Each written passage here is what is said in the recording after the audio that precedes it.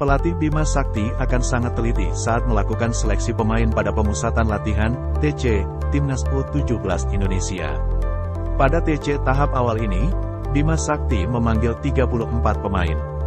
Enam di antaranya merupakan pemain keturunan yang mendapatkan kesempatan bergabung ke Timnas U17 Indonesia.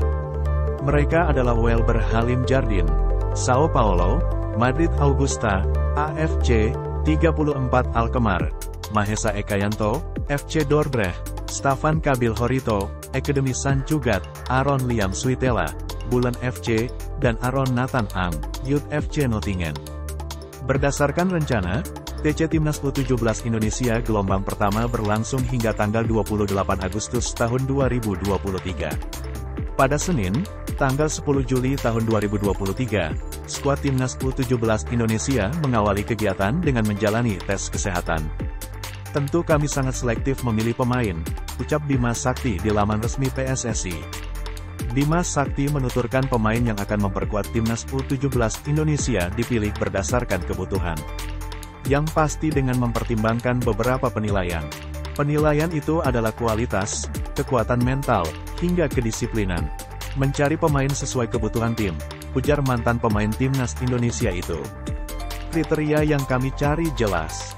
Dari kualitas pemain tersebut, teknik individu, chemistry dengan teman-temannya, mental, kedisiplinan, dan lain-lainnya, sambung Bima Sakti. Sejatinya, Bima Sakti sudah memiliki gambaran skuad timnas U17 Indonesia. Yang di mana, jebolan timnas U16 Indonesia juara Piala AFF U16 2022 masih dipercaya. Di antaranya Muhammad Iqbal Gwijangge, Arhan Kaka, dan Muhammad Kafiatur. Kami juga sudah memiliki kerangka tim, yaitu pemenang Piala U16 AFF 2022, kata Bima Sakti. Adapun TC Timnas U17 Indonesia dipersiapkan guna menyambut Piala Dunia U17 2023. Rencananya, Piala Dunia U17 2023 dihelat pada tanggal 10 November hingga tanggal 2 Desember tahun 2023.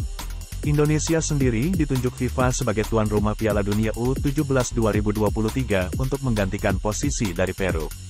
Sebelumnya, Indonesia diproyeksikan menggelar Piala Dunia U20 2023. Akan tetapi, turnamen itu batal terlaksana di Indonesia usai status tuan rumahnya dicopot FIFA.